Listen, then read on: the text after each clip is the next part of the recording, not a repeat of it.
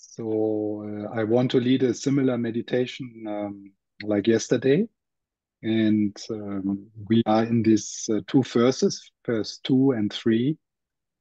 And uh, both of them are talking about how to relate to patterns, how to relate to our reactivity. And uh, the first two, the kind of practice instruction, each first has like this little um, practice instruction is uh, leave your homeland. This is the practice of a bodhisattva. And the third first, as has a as a practice instruction, rely on silence. Yeah. And I want to bring these two together. Leave your homeland and rely on silence. So leave your homeland can mean different things and we can talk about it. We can hear it in a different ways. Uh, but Ken McLeod looks at it um, from a inner point of view. So he's not talking about moving, uh, changing friends, or changing outer circumstances, but he's talking about changing the inner, the inner world. So for him, leaving your homeland means this. And I quote him When you are able to experience these poisons and not act on them, you have left your homeland. So when you're not able to experience these poisons, so this refers to these uh, to the three patterns of aversion, attraction, and indifference. Uh, but if you include the th uh, uh, third verse, so I would say patterns, yeah, habits. When you're able to experience your reactivity, your patterns, your resistance completely, when you experience them completely, and not act on them. Yeah, so this and not act on them. So that's what we are looking for in our meditation practice to be aware in an intimate way, be with the energy, particularly with those um, which we feel uh, discomfort with, which we have aversion to, and we don't act on them. So that's that's what we that's what we lean into. So neither neither rejecting them nor grasping onto them.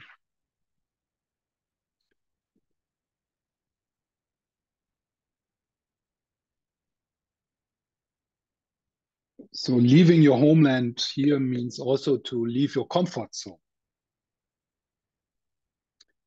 So in that way, this meditation is a counter-instinctual meditation because usually when there's some discomfort, physical or emotional discomfort in the energy of our body, we want to fix it, we want to get away from it, or we reject it, we suppress it. So that's the homeland. This kind of reactivity, that's the homeland. That's the that's what we feel comfortable uh, with because it's how how we always do it. So that's the homeland. And leaving your homeland is uh, moving towards the places which scare you, moving uh, towards that which you usually don't want to move towards. To. So that means leaving your homeland. And the idea is by doing that,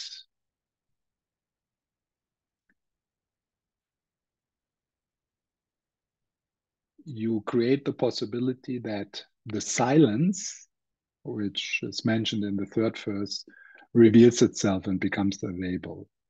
So you slide more towards a peaceful experience because you relax your resistance. You, you put down your weapons. So your system can relax and open and you can gravitate towards a more peaceful experience.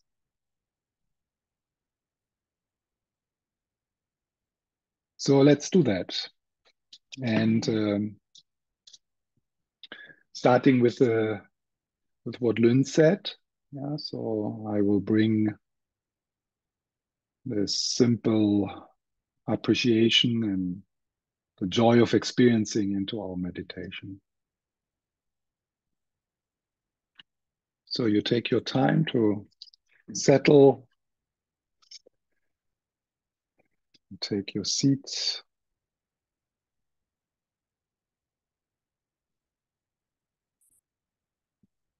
And at one point, maybe your eyes want to close.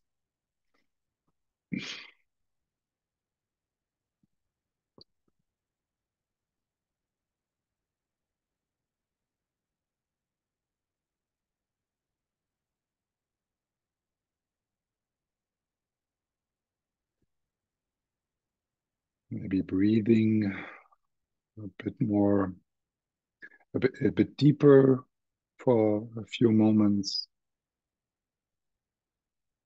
Not straining yourself, but just emphasizing the flow of the in and out breath.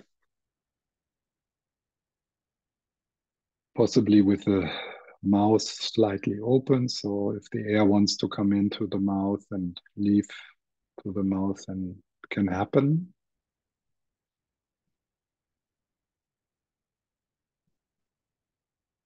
And then uh, the sliding or the dropping into your body.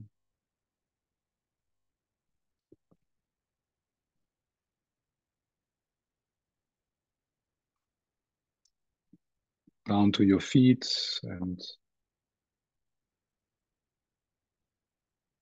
becoming aware of the surface you're sitting upon and um, the out breath relaxing into that feeling that you're carried by the surface you're sitting upon. It's really like shifting, it's shifting gear from the conceptual way of living, usually being occupied with something from the past or the future, we're just gently sliding into present moment awareness. Past exists only in thoughts, future exists only in thoughts. Mm.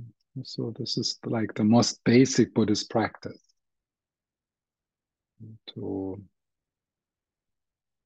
leave the homeland of being drowned in thoughts,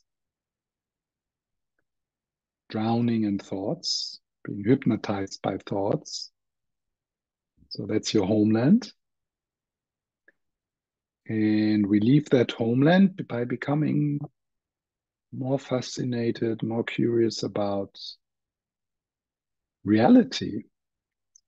So the what is happening now. Sounds, sensations, breath, my voice, feelings a bit of anchoring with the breath maybe or with the sensation in your hands or both.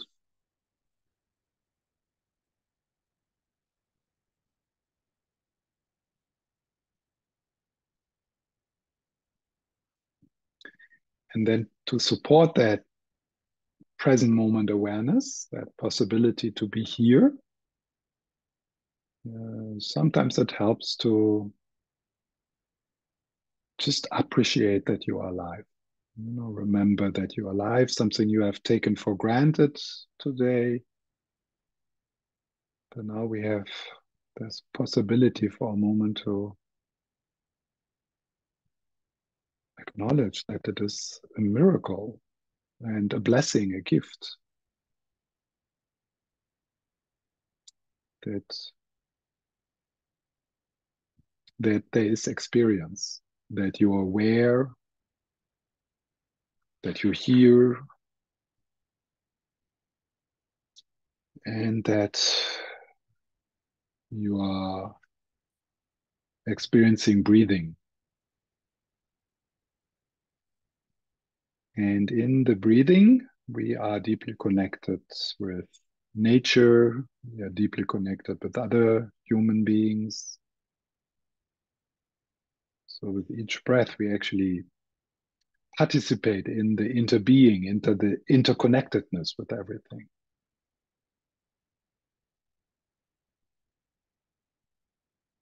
And there can be a kind of thank you there. I just thank you and an inner smile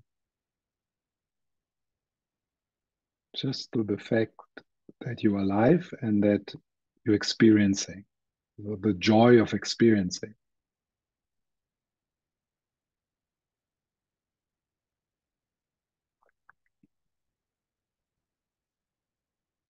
and uh, notice the nourishing life spending aspect of the in breath.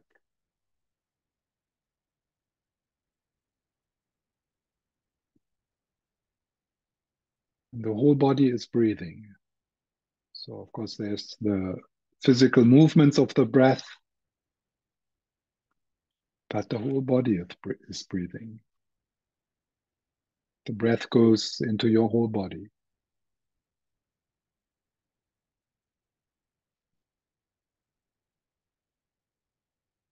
Let's see if you can bring that tender, appreciative, or curious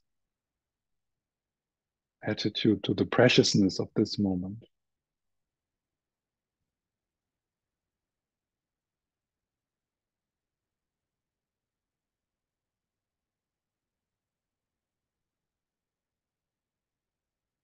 I'm breathing, I'm alive. Thank you.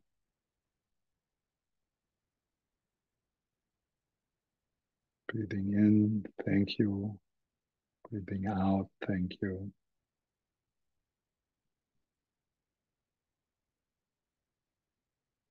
And uh, not only you are alive,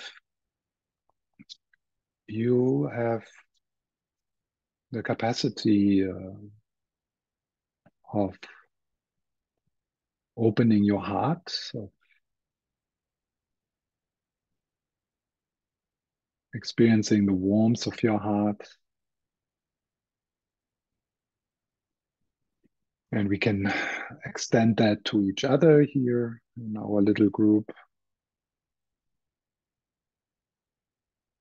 Being together in this space as human beings with feelings.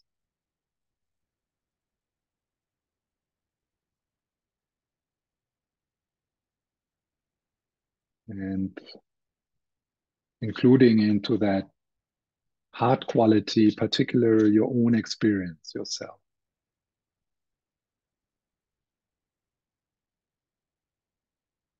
So this warmth of your heart, your innate capacity to care, innate cap capacity of compassion. Such a such a treasure. Such a blessing that we all have that indestructible source of love and wisdom, sometimes called Buddha nature.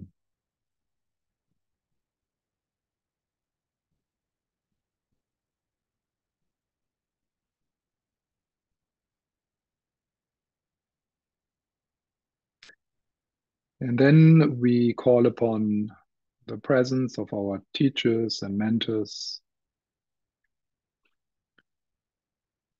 And uh, we do that just uh, to enhance a bit that sense of unconditioned love, of big love, of, of, of essence love.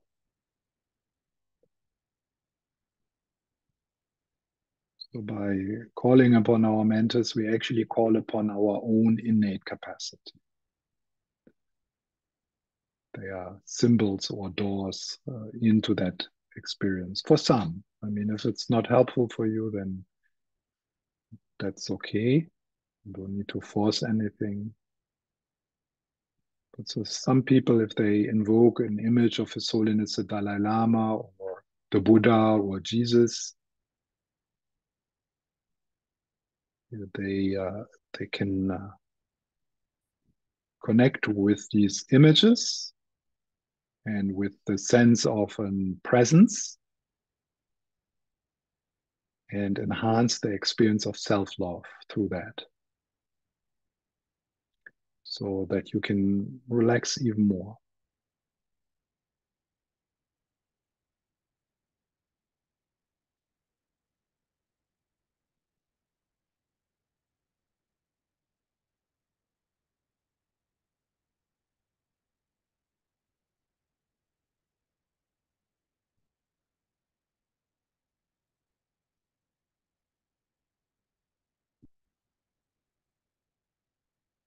So now again, bit of an experiment like yesterday. What is it, what in your experience, in your immediate experience right now, where you have the strongest resistance or aversion towards?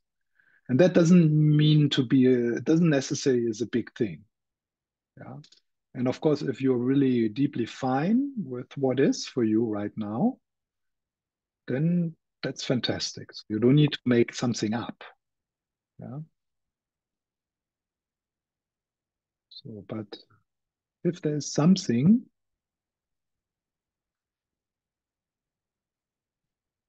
which is either somewhat tense or restless or tired or numb,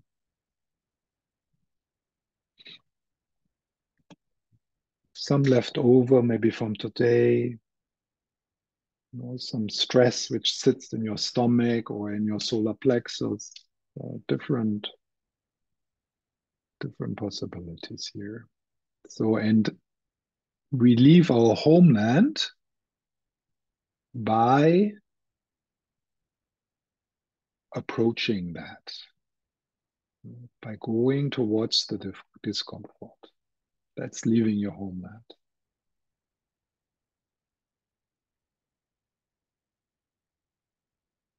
So you breathe. So, and you do that together with the breath and with awareness, with your attention.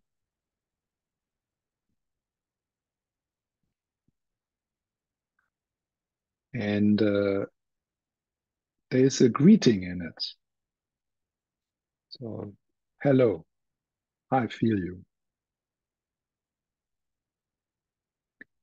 And it's the greeting of a gracious host. So, hello, I feel you.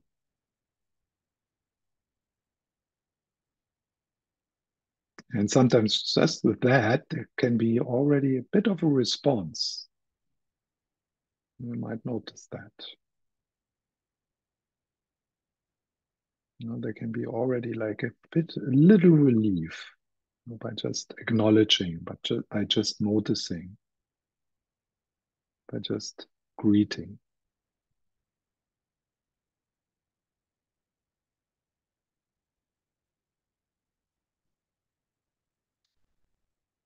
So with the in breaths, you touch and hold gently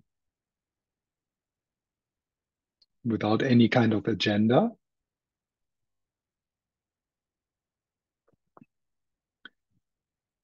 What you want to heal, you need to feel. And that's what you do. Uh, there might be a, like a, there might be the sense of resistance at the same time, some con contra contraction around the experience and make that part of your investigation.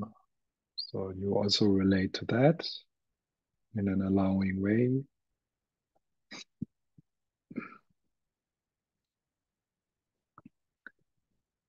And see if you can become, if you can get closer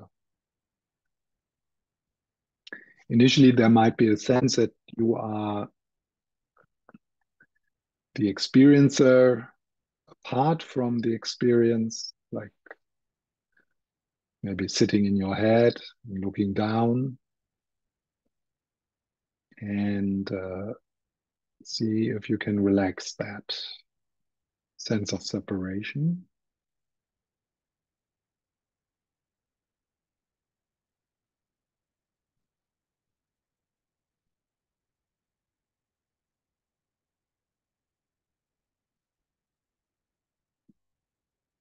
Being aware being aware of the bare energy of the bare experience. So there, there, there, there's less and less words less and less less and less label. Even even the idea of pain or unpleasant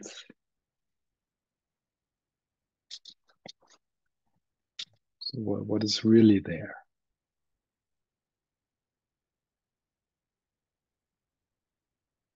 What's the energy like?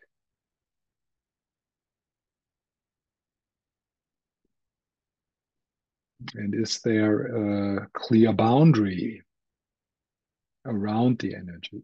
Or is it quite spread and you can't really put a boundary around it?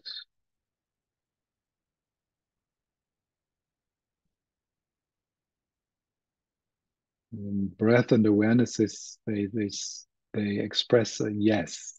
Yeah, so yes, this is what is. This is what I feel, and I am willing to feel it. I'm willing to be with it.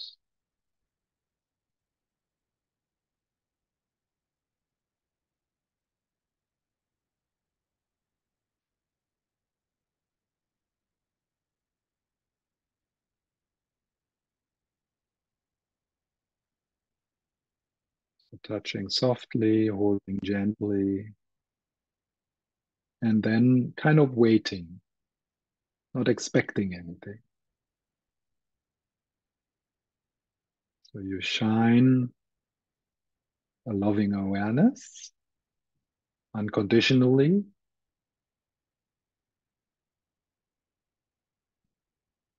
And the rest is not your business. So you put your money your trust into loving awareness. And if you need help, you ask for help. You ask Tara, you ask Jesus, you ask the Buddha, you ask your guardian angel or whatever works for you to hold your hand, to be there together with you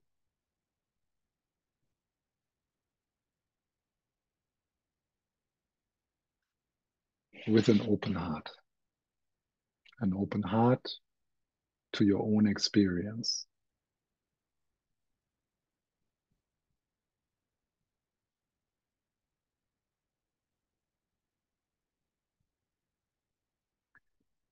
And keep the investigation alive. So, you know, go closer, try to go inside explore the edges. So you, your mind stays a bit vibrant and alive.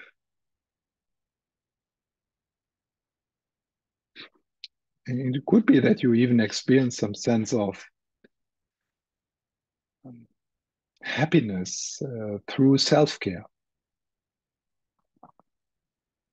So this uh, moment is completely for yourself.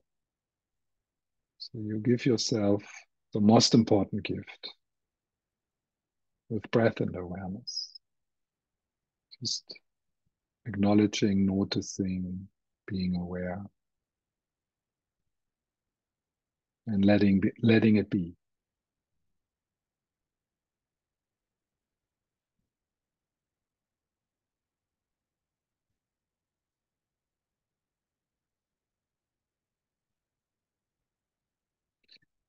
And thoughts are recognized as thoughts. It's fine that they are there, but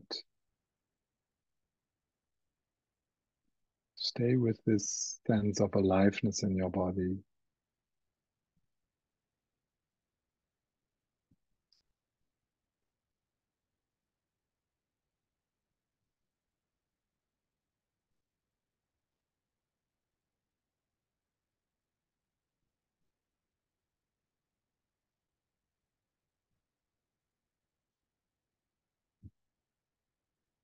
And gently insisting to stay in contact, stay engaged. And sometimes uh, by approaching an experience of discomfort like this, it kind of dissipate, dissipates sometimes, not always, but sometimes. And then you let yourself just sink deeper. So then you allow yourself to fall into that which is behind that contraction.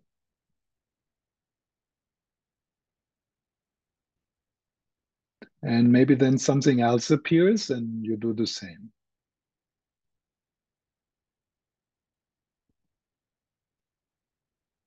Melting with breath and awareness, as if you're melting ice.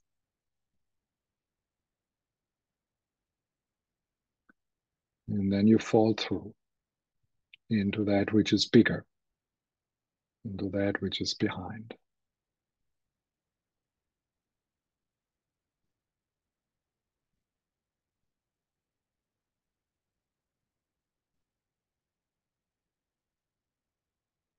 Everything is energy, non static, vibrant, flowing.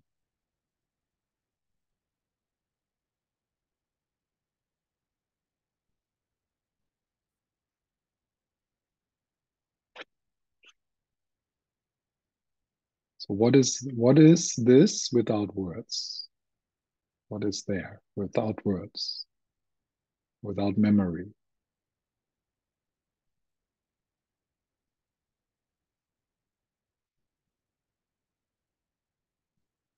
And uh, going inside, you know, letting go of the sense of separation.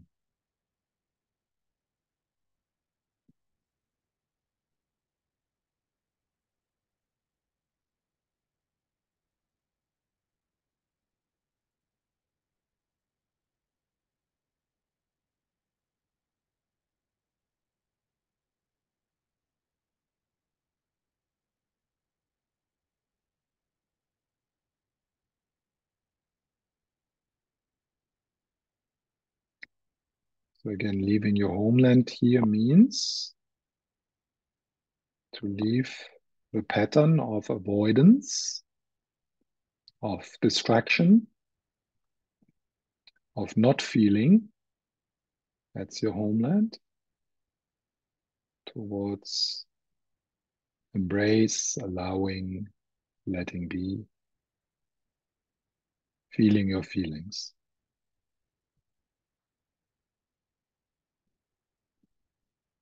Together with the breath.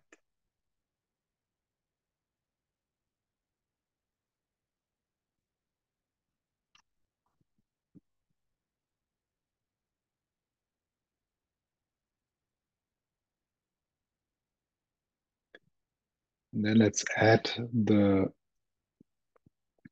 insight that uh, doing this together.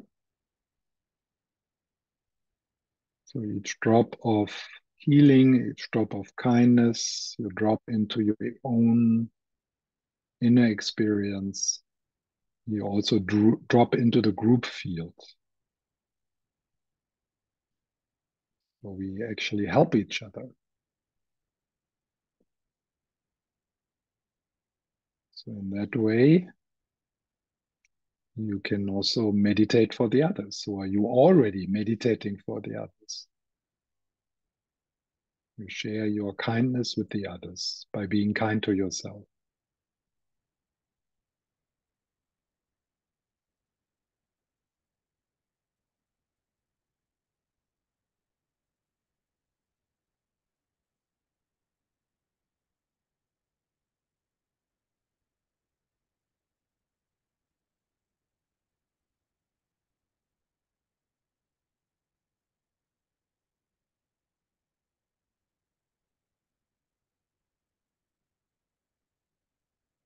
and returning and resting.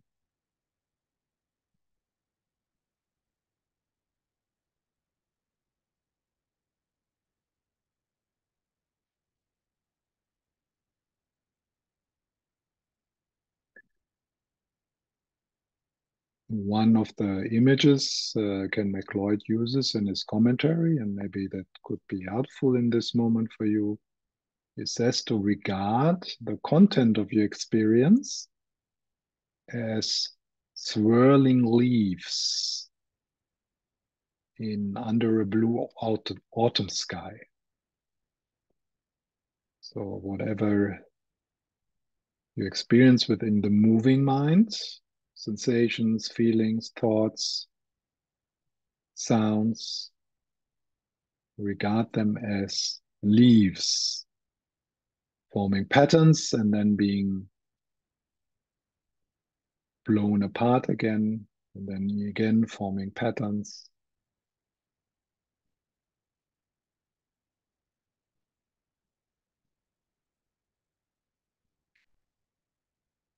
And not distinguishing the different patterns for, from each other, but seeing them all made from the same stuff. One taste.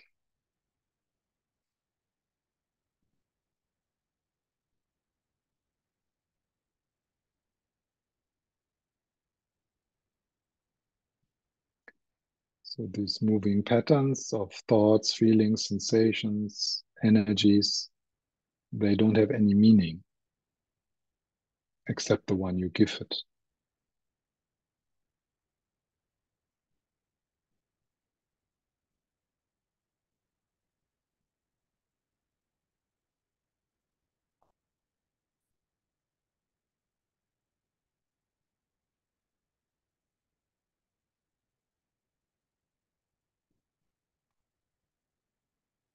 So the image of the swirling leaves under the blue autumn sky has also that sky-like aspect of our experience. And that's what Tokme Zongpo points to with the practice instruction, rely on silence.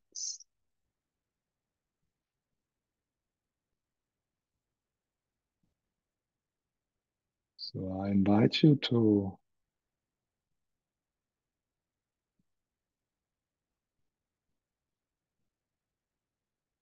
feel into with your intuition, with the intuition of your heart.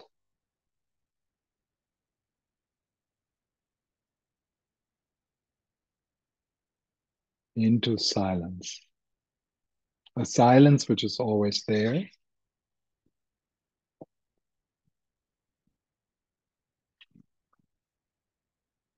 A silence which surrounds and pervades whatever you experience.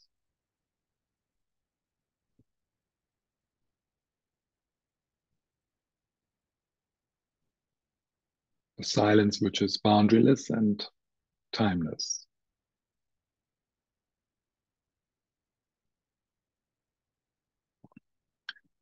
And uh, it's not about doing something or trying to understand my words. It's more that my words and these images, they might be helpful pointers for you.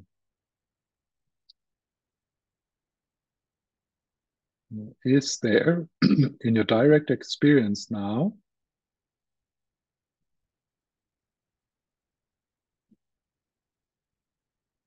a sense of silence or peace, which is always there, but often not recognized because we are so busy with the content, particularly with the thoughts.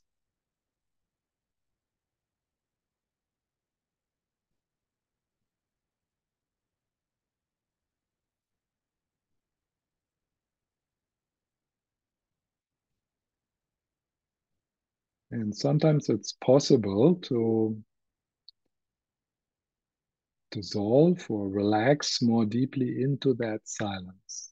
Like kind of a falling or a sinking, a sinking down.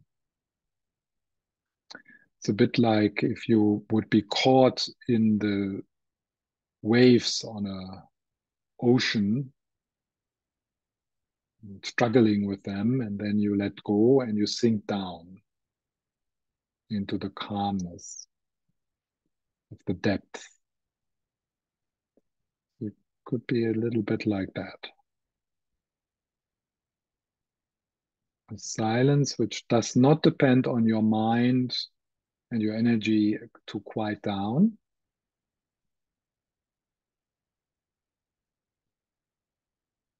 And and you receive that silence with your whole body. There can be still a bit of anchoring with the breath or with other sensations, but uh, your heart goes into the opening to a spacious beingness, something which is bigger than whatever you experience right now.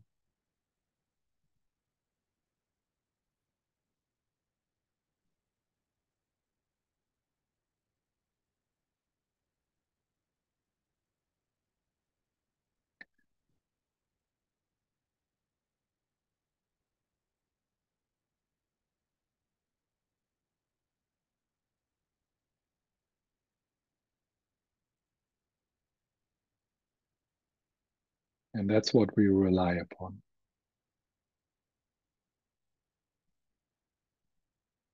So that's our refuge.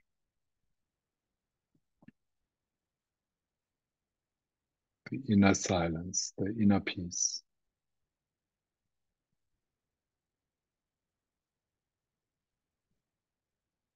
Which reveals itself when we relax the struggle with our experience.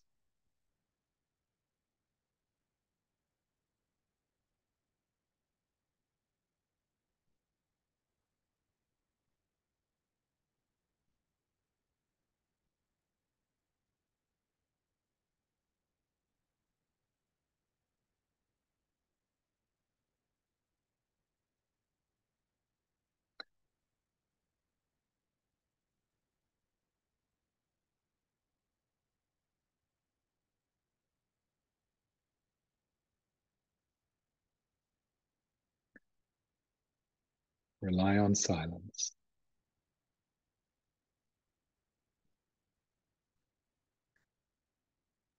So that means not to rely on thoughts, which is your homeland. And leaving your homeland is relying on silence instead, relying on presence, relying on essence love.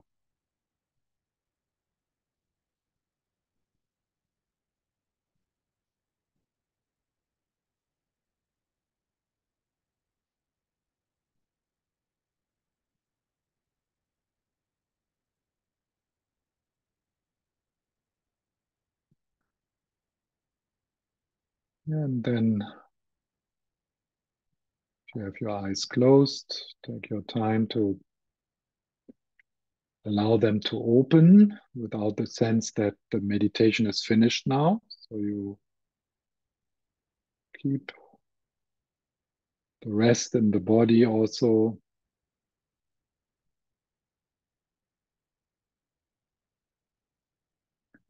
Just becoming aware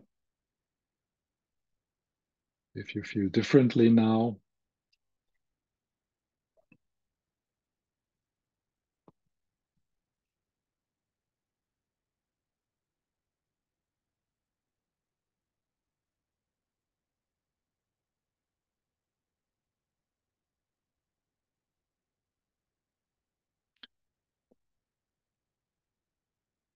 So I think this uh,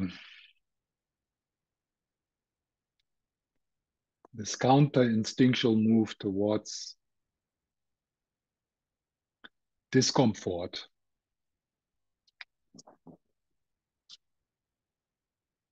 I think that's probably the most important, one of the most important aspects uh, in our meditation practice and on our healing path. What you want to heal, you need to feel. The only way out is through. Yeah. Or it's also for me connected with uh, the pith instruction of Machig Labdrön, that you maybe have heard from Pema Chodron one of her books is titled like that go to the places which scare you. Maybe going to some discomfort in your body doesn't scare you but you know a little. So that's like the instruction to so important particularly for practitioner because it's very easy to use your practice to stay in your homeland yeah? meaning to stay in disconnection to stay in not feeling to stay in uh, yes to use your practice to stay in your comfort zone. And uh, all every practice a lot of practices i mean even breathing meditation can be used like that. You become very good in focusing your mind on the breath but what you actually do is you distract yourself you avoid to feel yourself. Helping others is often a way to actually stay in your comfort zone instead of try trying out what does it mean if I don't help others and I stay with my own feelings and take care of myself first. For some people, uh, taking care of others is just another way to stay in the homeland of what they learned in their childhood Mm-hmm. It's not safe to look after yourself. You need to look after others. And uh, for many of us, leaving our homeland uh, could include or has to include uh, self care and self nourishing and looking after ourselves and setting health, healthy boundaries uh, so for some people, leaving their homeland is uh, maybe saying a bit more yes. Uh, but I think probably for most of us, uh, leaving our homeland would rather mean to learn to say no and not to put too much onto our plates.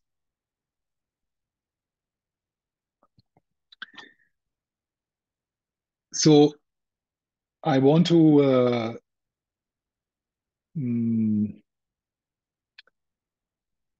go back to the first two and just um, and just look at uh, two of these patterns, and that is uh, attraction and aversion. So Tokme Zongpo writes, attraction to those close to you catches you in its currents.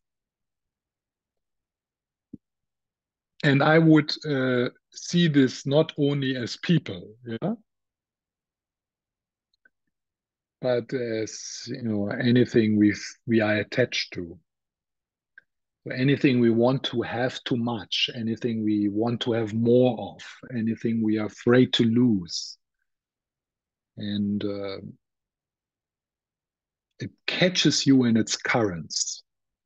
So it's always good in this uh, in these poems to um, feel into this, what experience is Tokme Zongpo pointing to? Yeah, where do you feel this that you are caught in the currents of attachment?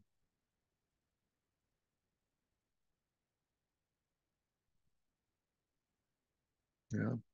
And so that would be that's one of the important steps uh, in the work with any kind of patterns is first we need to become aware of it.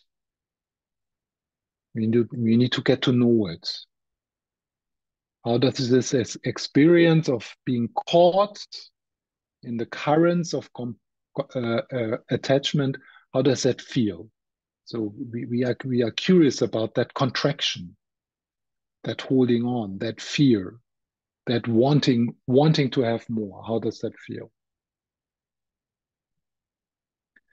So I must say, just to uh, avoid some misunderstanding, this is not talking about uh, that joy and enjoyment is uh, wrong. Yeah. So it's talking about attachment. It's talking about the grasping. It's not talking about enjoyment and enjoying life and enjoying chocolate cake or whatever.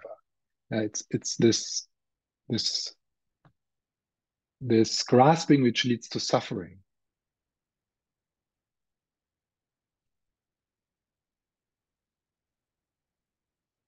So what is important, particularly in the in the approach of Ken McLeod, that uh, the recognition or the awareness of this pattern of grasping of attachment, the recognition of that is not judgmental; it's loving. That's really a crucial part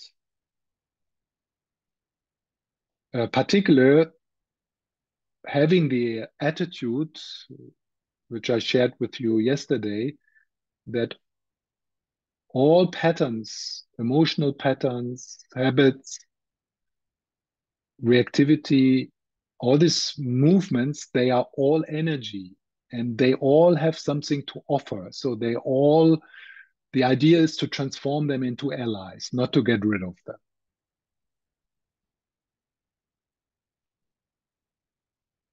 And uh, Ken McLeod is sharing one of the methods to do that. He's actually sharing three methods, but I want to uh, look at one of them. But uh, before that, aversion to those oppose you burns inside.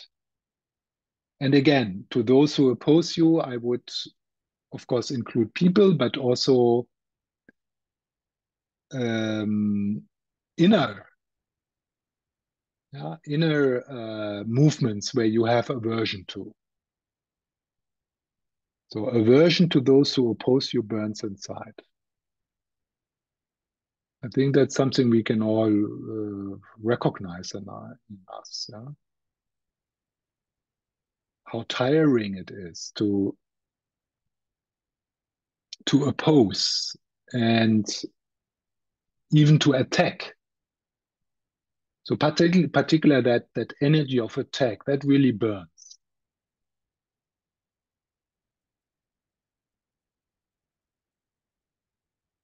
It's quite amazing to re to to get a.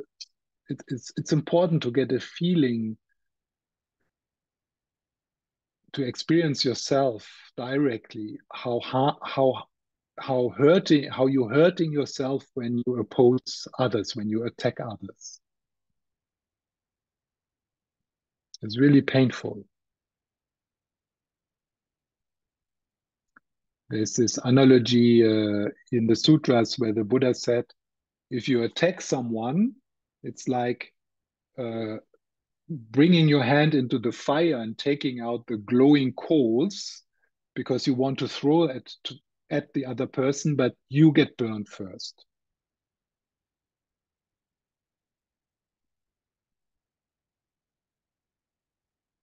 So these are the two uh, patterns and the instruction and instruction of well the invitation of Tokme Zongpo is leave your homeland. Yeah? Leave that leave that way of relating to your experience. So and then Ken McLeod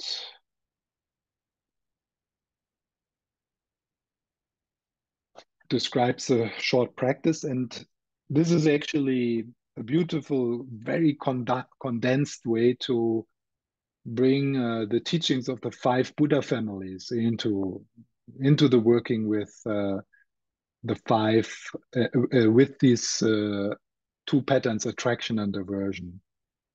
So the idea here is that each attraction and also aversion, they have a wisdom aspect.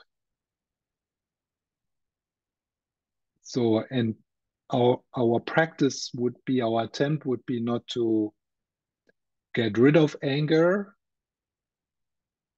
aversion, or get rid of attachment, but to transform attachment and anger into the wisdom aspect. So, how do you do that? And I hope it makes a bit sense, maybe at least like intuitively. So, when you see someone or something you like, let's say someone, Uh, I hope uh, we all remember how it feels to be attracted to someone. yeah. Could you remember that? yeah. And uh,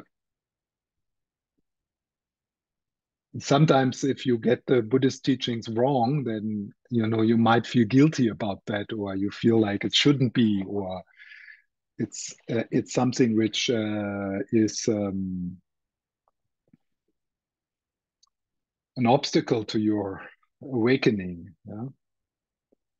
So let's remember how it feels to be attracted to someone it doesn't need to be in an, a romantic way but that could be a, an, a, an example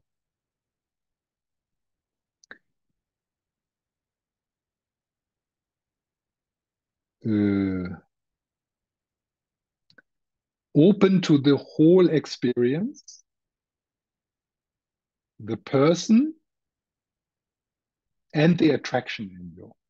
So that's the first in instruction to just open to the whole experience as it is, to the attraction and to the person you're attracted to, to kind of just open to that without judgment.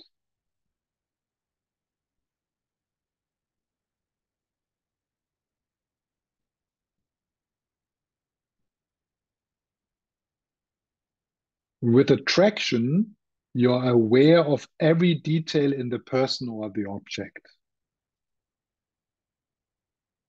You are aware of every detail in the person or the object. So that's the wisdom aspect. I forgot the, the, the name of it, but the wisdom aspect is to be so filled by the vitality and the presence and the awareness which the attraction brings uh, us, you become more and more aware of every detail, not only of the person you're attracted to, but all your surroundings.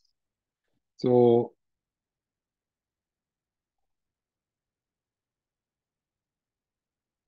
you even the food tastes better, right? And the music becomes nicer. And the scent becomes more vivid. You know, so the attraction, if you let go of the grasping of wanting to have, actually has, has such a beautiful energy in it. If you if you allow it.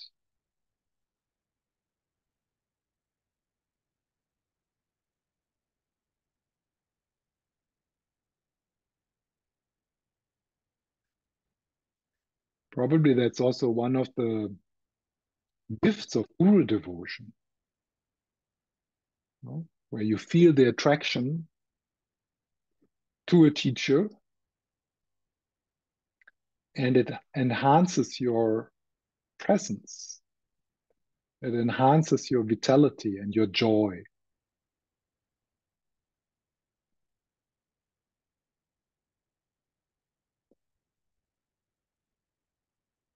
So that would be a, a good homework in the next days, you know. uh, walking through New York or wherever you walk through, and uh, being open to everyone you are only slightly attracted to, you know, without doing anything. So this is not about flirting or uh, trying to uh, do something happen, but uh,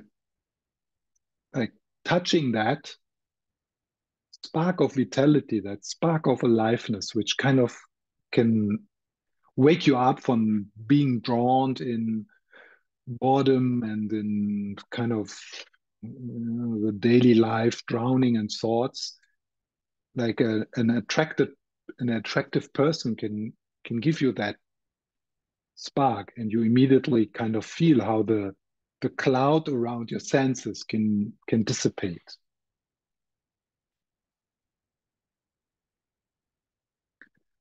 If you are uh, attracted to a to a particular person right now, uh, like not just like a glimpse or something, it could be also an interesting inter interesting thing to play yeah, with. Uh, to look at that person, to be with that person, to gaze in the eyes of that person, to take in his his or her beauty, and to open to the whole experience, and not uh, acting upon it, but transforming the energy of that attraction into a more alive presence.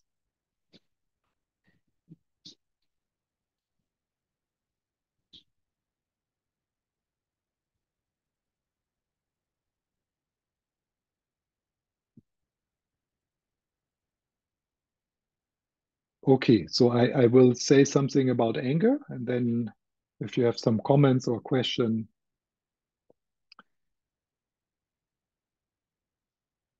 So he, he concludes this instruction with rest right there.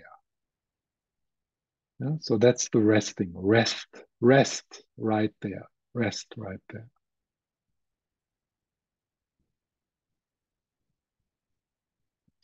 So with aversion, or anger, your mind becomes very clear. Uh, so the wisdom aspect of anger in the teachings of the five Buddha families is clarity. And maybe that's also kind of, maybe you have a sense of what is meant here. Yeah? So we are talking about um, the possibility neither to act out the anger nor suppress it. So uh, it doesn't mean the practice is to hurt another person or shout, but to uh, feel and give space to the energy of anger, experiencing anger as energy, not feeding it, and then you might notice a sense of clarity, a sense of firmness, a sense of a sense of uh, saying no or putting boundaries, putting health, healthy boundaries without uh, that hatred aspect, without wanting to harm the other person.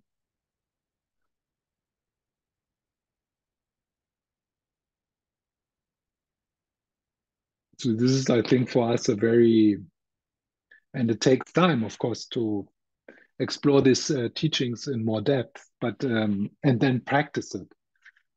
Uh, but um, i think for us it's really important that uh, we have a, a bit of another approach um, than the maybe more common teaching of that anger is very very dangerous and uh, and and every act of anger is horrible and destroys so good karma so much good karma.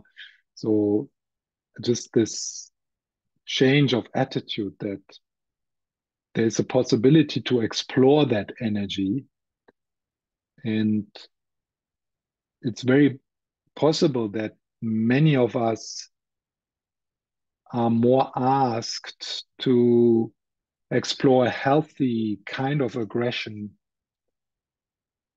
and then uh, suppressing your anger through a loving kindness meditation or something, or denying your anger, projecting it outside, that would be your homeland. And leaving your homeland would be experimenting with anger, giving it some space, uh, exploring other ways to new ways uh, to be with impulses of anger coming up.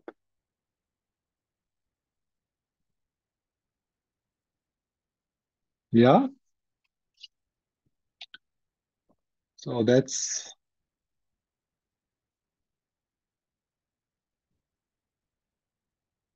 what Ken McLeod says about first two, leave your homeland.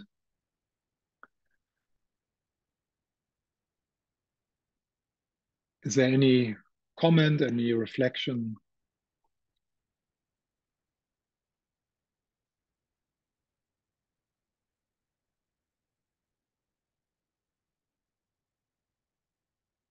I really uh, appreciate how fine grained you're being with each of these lines because I feel like when I was reading the book on my own, I was just kind of plowing through stuff and and sort of saying, okay, I understand. Mm. I understand. So I really appreciate how slow and careful you're mm. being.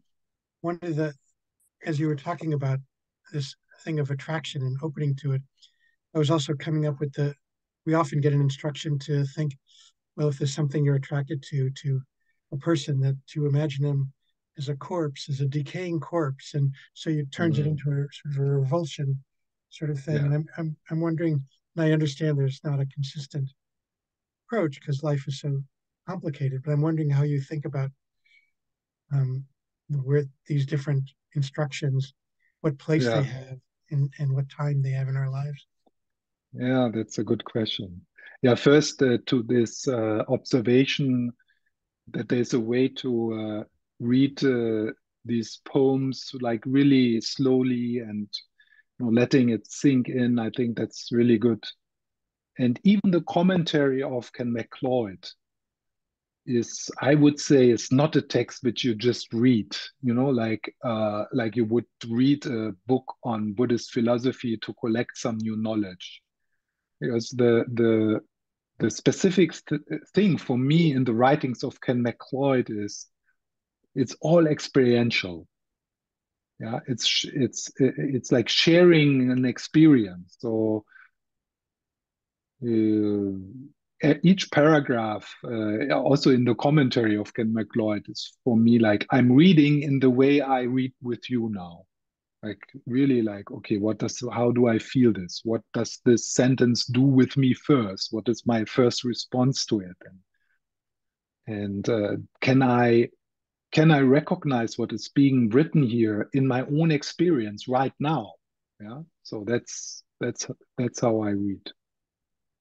So it's not only it's it's not so much it's not only about the knowledge, but it's it's also it's for me it's an experience entering entering an experience when I read this text.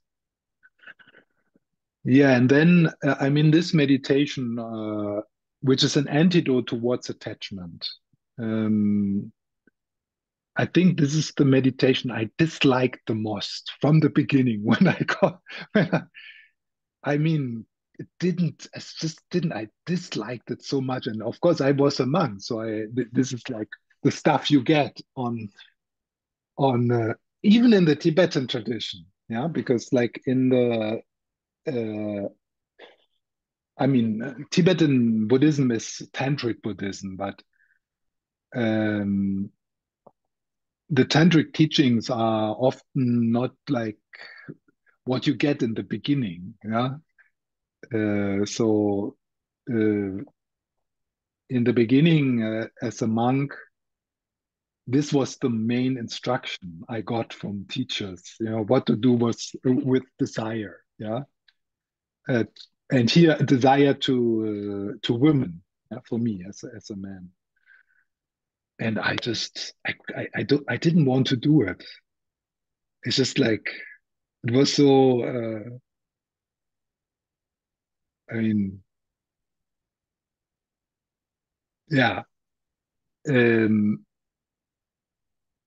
but um, so and then I was so happy that I quite quickly discovered the five Buddha families teachings and you know also Lama Yeshe's book on the introduction to Tantra, where he also writes about that. Yeah, and then and then I start to see no, actually sexual energy in the Tibetan tradition is something sacred. Yeah, and and in in the in the tantric teachings you do the opposite. Yeah, you see the woman as a goddess, and uh, you you in a relationship you keep that view yeah?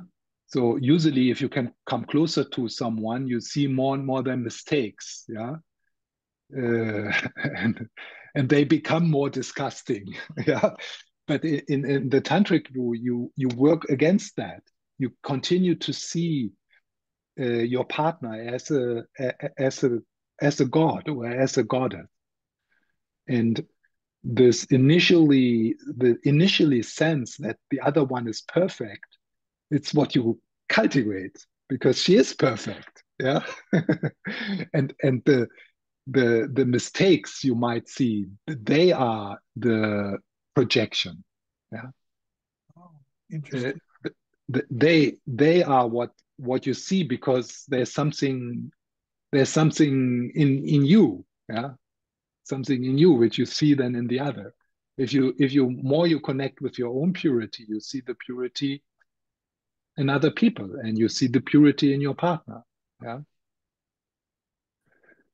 Um, so what what helps sometimes when when we get this kind of um, contradictory teaching so it's completely i mean it seems like completely two different directions uh, to see them in the context of the, the lam rim you know with like different uh, uh, the the gradual path to enlightenment. How it's it's a presentation of the Gelug tradition in Tibetan Buddhism. It's like how they they arrange uh, the Buddhist teachings into like a a whole system. Um, and and if you study that, then you become aware. Yeah, right. There is so different people at different stages on their path they need to have different kind of medicine. Yeah? And um, and in that way one could maybe say say that uh, this teaching on the ugliness of the female body and it's always the female body of course because it's like yeah uh, so I I also didn't like that aspect. Yeah, um, uh, that that might have a place in in the mind of a person who uh, is really obsessed and can't let go. Yeah, kind of to as a as a kind of a, to create a bit of uh, relaxation around a strong grasping and obsession. Yeah? So maybe then it has its place. I don't know. I I I uh, I, I not really tried it. It's uh, like no, you're supposed to take off the skin and get the hair off and stuff like that. It's like, I mean, this is like destroying a piece of art, you know, like Okay, so you have this beautiful piece of art made by nature, and uh, and then you are supposed to cut it. You know, uh, it's like. But this is a teaching um, in for which might be helpful for some people, in particular, maybe for monks. I don't know. Could be but it doesn't really help with the love part and the kind part and and uh, you know so it's and one can never be sure if it's that if it's coming from the Buddha or if some someone uh, someone later put it in there, you know, because he hated women. He, he did a lot of the stuff in in the teachings is added by human beings. So helpful to hear your perspective on that. I really, really appreciate mm. it. Very mind opening. Appreciate it. Thank you. Mm. So yeah.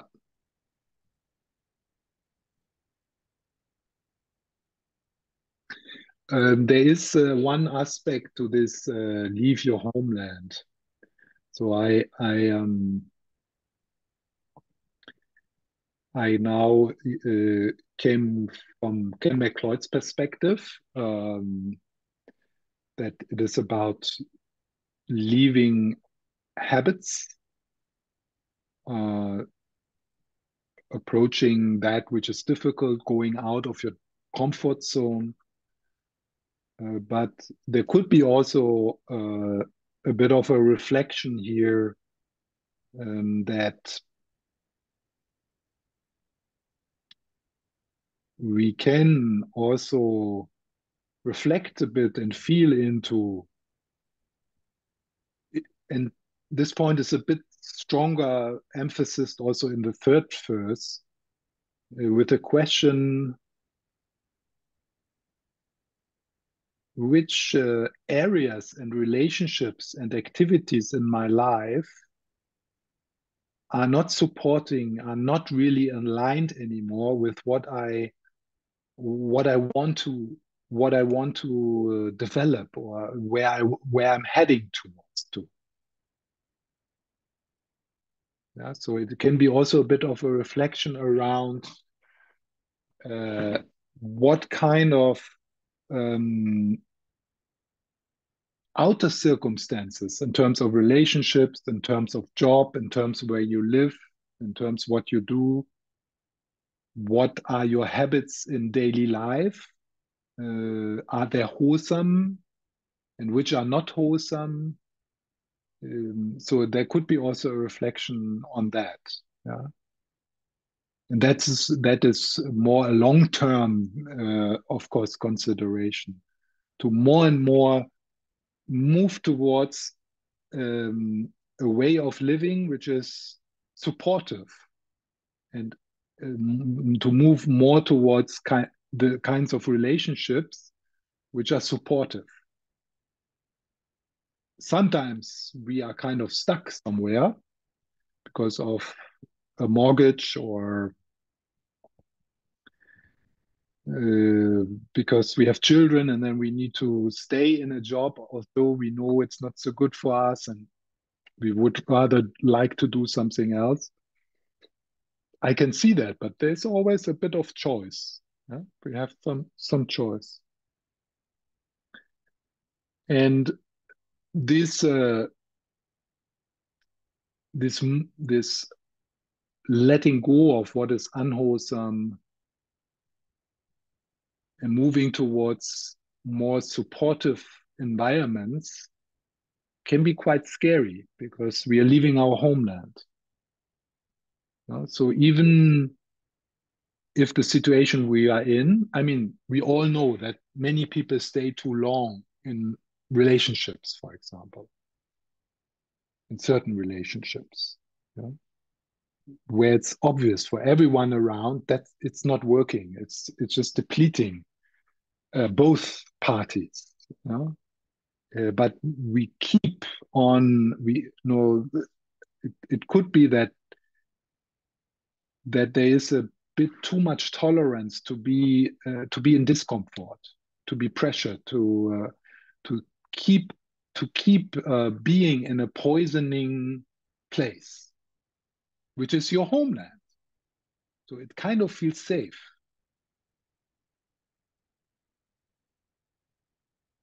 And it could be that even in in the in, in the in like in terms of relationship, that if we leave a relationship, the we move into the same homeland.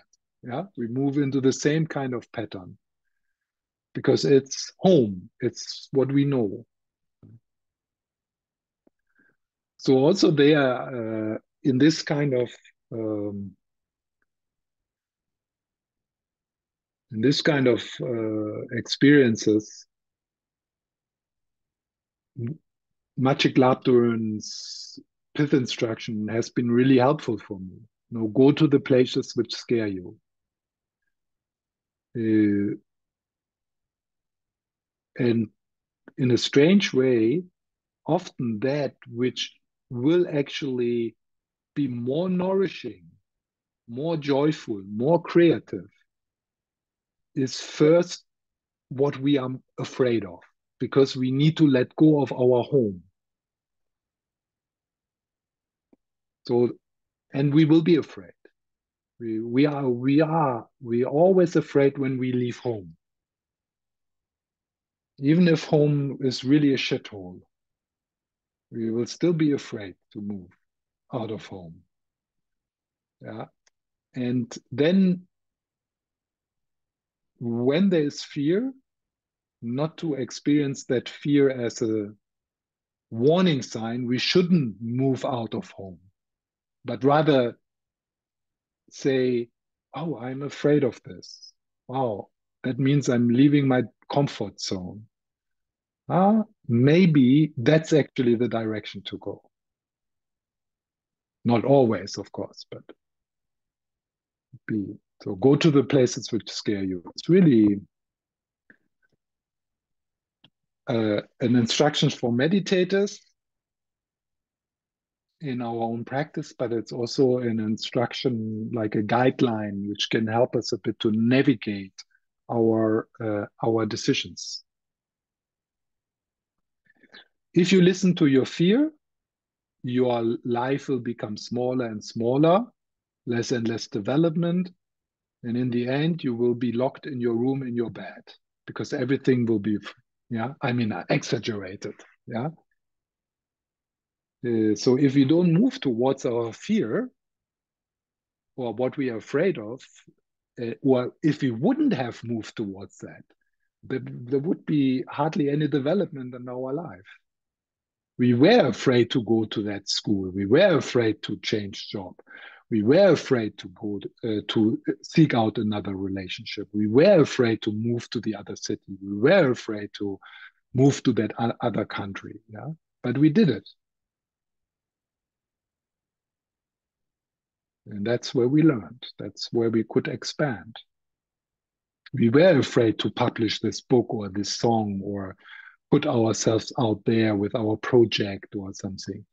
We were afraid of all of that so if we if we would have listened to that fear,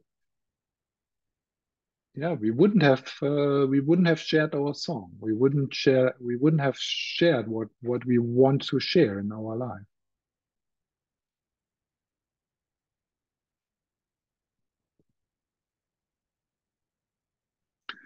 Yeah, is there anything else to comment or sure, just Steph, look at? Yeah on verse two, if you don't mind, some of what you're saying applies to this, but maybe it's a matter of degree. So I'm wondering about um, anger, right? And all uh, Ken McLeod says is uh, with aversion, your mind becomes very clear, rest there. Mm-hmm. But anger can become fury, right? It can become like a forest fire. Your mind becomes mm-hmm. very clear indeed. It's swept away.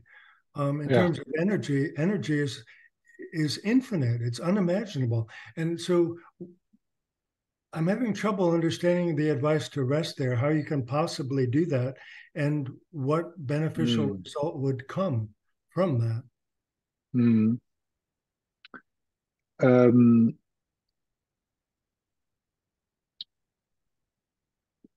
I, I, mean the the the main idea again is to find that middle place between suppression and acting it out. So how to find a more yeah how to find that that place that middle that middle place between acting out and suppressing giving giving space to that energy particular uh, if it's fury, like yeah. I guess in, in, in a case of fury, what is needed to have a timeout to get out of the situation. And then um, find a find find a way. I'm just laughing. Something happened here, so I that's I I laugh I laughed about someone else. Um, eh,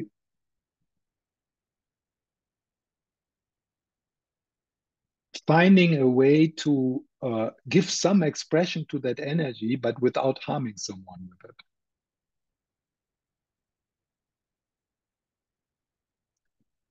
There's a teacher, spiritual teacher, his name is Robert Augustus Masters. Uh, he he, um, he wrote a paper on anger. And uh, in this paper, he um, he describes a practice which he calls conscious rant. Rant, you know, like conscious rant. So it's it's it's uh, expressing and putting words on your energy and taking responsibility for it. Being aware this is my feeling and the other person only triggered it. So you take responsibility for the feeling and you give it some expression and you stay in your body. You speak out what is unedited what you want to say. Maybe having a witness but but not the person you're angry with but having a witness and then um, of course that will move through so it has its space, so it moves through. You because you are you expressed what you wanted to express, you so you don't need to put more and more fuel onto the fire by thinking and thinking, oh, I shouldn't sing. Uh, so so it isn't because you you said it, you expressed it, and then trying out. Okay, so then after that to sit down do some kind of meditation with what is there and then you see uh, where i'm now with this is this can i recognize that they are can i recognize what is meant with clarity? Maybe not but uh, something has happened then yeah? The experience will be different. And then responding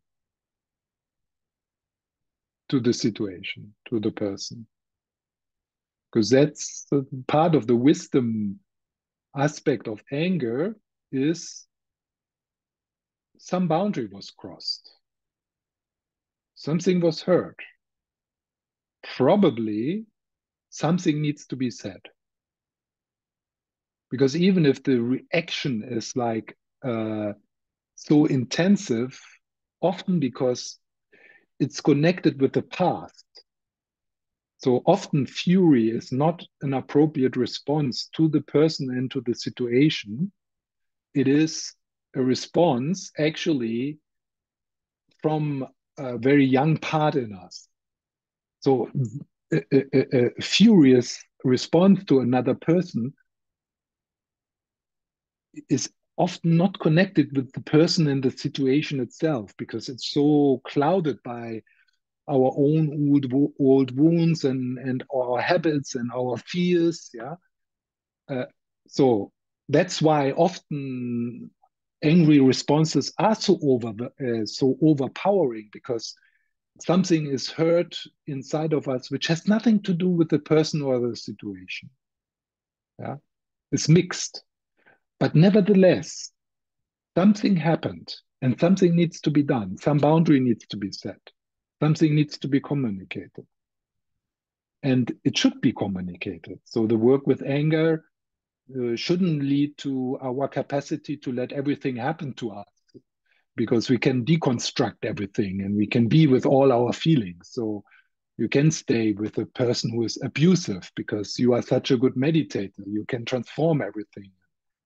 And there's no I anyway. Yeah. So who's, who's being hurt? Yeah. So um, so the for a person in an abuse abusive relationship, it's so important for this person to become angry.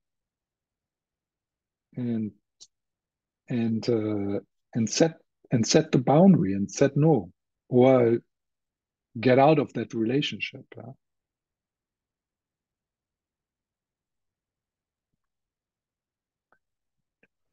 yeah, yeah that, makes sense most most of all it makes sense if that follows the initial stepping back from the situation or even removing yourself from the situation yeah and that's that, difficult yeah that's it difficult is. but it is in American law.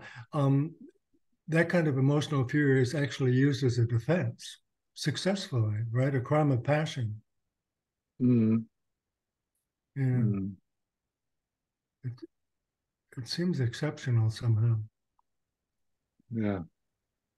I experimented with Shantideva's advice, at least this is how I heard it.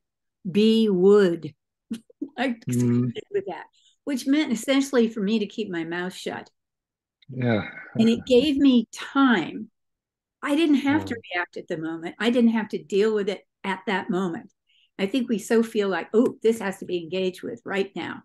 No, it mm. doesn't. I'm in a relationship mm. with this person. They don't mm. have to, mm. you know. So I just thought, I mean, I don't always do that, but I love that be wood. what is that? It means me just Mm-hmm. Mm-hmm. It, yeah, that's that, that's the first remedy, but then one needs to do something more. Yeah? yeah. So that's like a okay, yeah, time out, being like a piece of wood, like Shantideva says. Yeah. Uh, but then going deeper, maybe with the rain model from Tara Brach, you know, investigating and, and so on. You know, different methods to go deeper. And it just doesn't have to be done at that moment. You have to reflect. Yeah that's right. Yeah. Yeah. Yeah. Okay thank you. Yes, that's well, thank you that, that's a kind of wisdom which comes with when we get older know we, we don't it's like that's something we do, we discover it on our lifetime we don't need to uh, it doesn't need to be now yeah i will see my husband also tomorrow uh. Okay, yeah. So leave your homeland and uh, rely on silence. Yeah. So that's that's the two like pith instruction from uh, these two verses. Yeah. Thank you so much. Thank and uh, thank you really appreciated that you turned up. and uh, I'm looking forward to see you again.